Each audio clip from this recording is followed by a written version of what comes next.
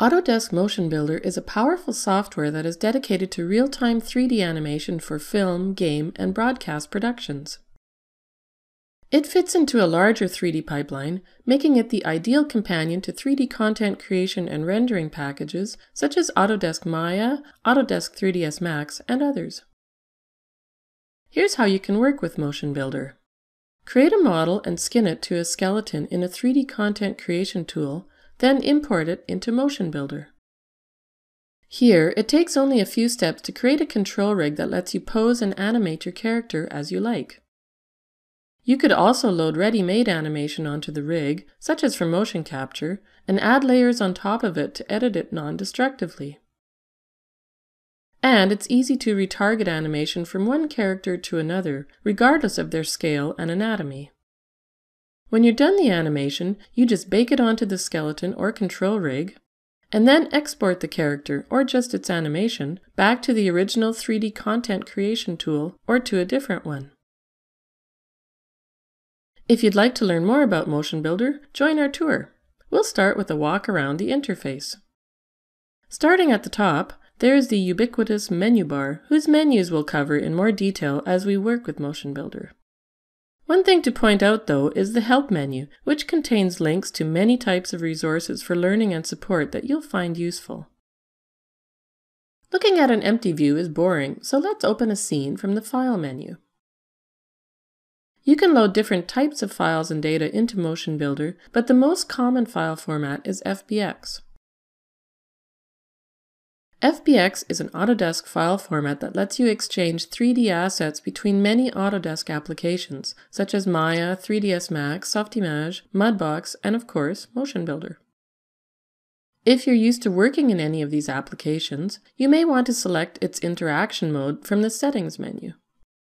This uses the keyboard shortcuts from that program, which is handy when you're switching between it and MotionBuilder, especially in a suite. However, it's sometimes best to just get used to the program's keyboard shortcuts, so we'll stick with the MotionBuilder mode. There are a number of preferences that you can set for MotionBuilder to customize how different elements work by default. You may want to get to know MotionBuilder a bit before setting certain preferences, but we'll set the saving preferences so that there are only two backup files of each scene being saved to a specific folder. And we'll increase the undo levels. When you change most preferences, you need to restart MotionBuilder for the new settings to take effect. Now let's take a look at our scene in the viewer. It displays the different assets in your scene, which you can select and manipulate.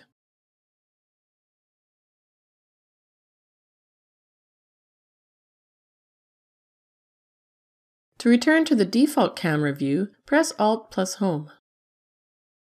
You can customize the viewer by using different cameras, such as the default perspective view and the several orthographic views.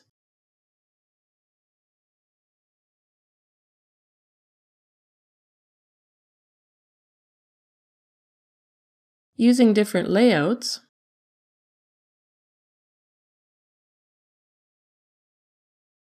and using different display modes to help you work with the objects in the scene.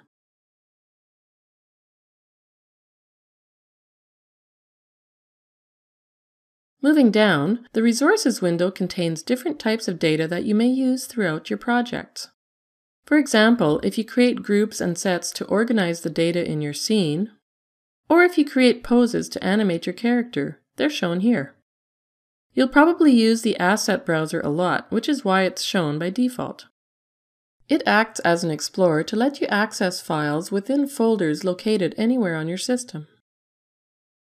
The default Templates folder contains many assets and tools that are available to use in your scene. The Tutorials folder contains character assets that accompany the tutorials that ship with MotionBuilder, but you can also use these for learning on your own.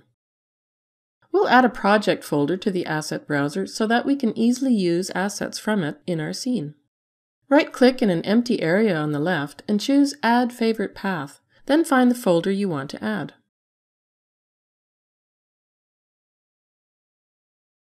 We'll drag our character Natasha into our scene.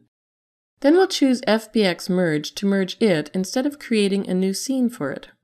You could load this character without any animation, but we'll load it with the Take 001 animation.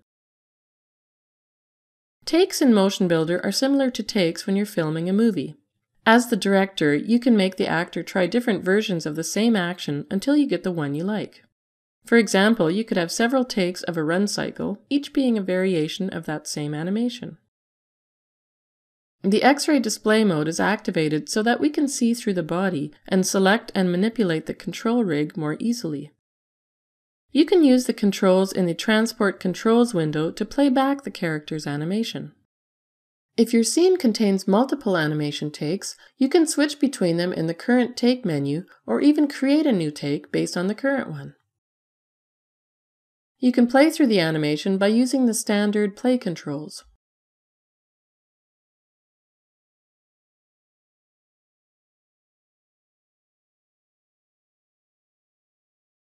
You can also drag the timeline indicator along the timeline, which is referred to as scrubbing.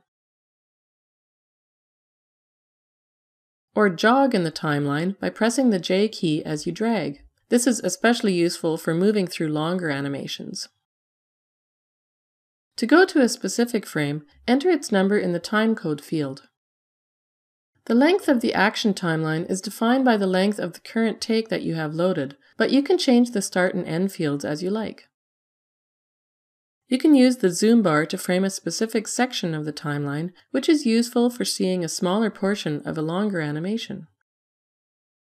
Double-click the bar to return to the full length of the timeline. You can change the speed of the real-time playback to twice the speed, half the speed, play all frames, and so on. When you load animation into the scene, the frame rate is set to match the animation in that take, such as 24 frames per second for Natasha's walk cycle. However, if you're starting an animation from scratch, make sure to set the frame rate before you start animating to match the application to which you'll eventually export the animation. We'll take a little break from our tour of the interface, but we'll continue in the next video where we manipulate Natasha's control rig, set some keys, create an animation layer, check out what's in the navigator, and create a custom layout.